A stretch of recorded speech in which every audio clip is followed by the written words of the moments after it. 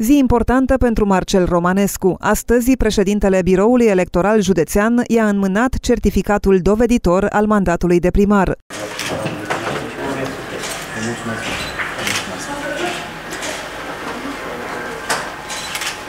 Cu emoții, Romanescu le-a mulțumit tuturor celor ce au crezut în el. Liberalul a anunțat care sunt prioritățile sale odată ce va fi investit în funcție.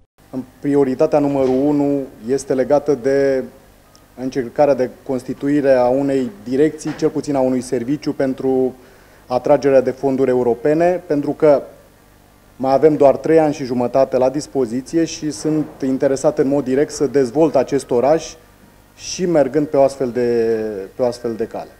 Președintele PNL Târgu Jiu va fi investit în ședința de Consiliu Local din 26 iunie, după care Marcel Romanescu își va putea începe activitatea la primărie.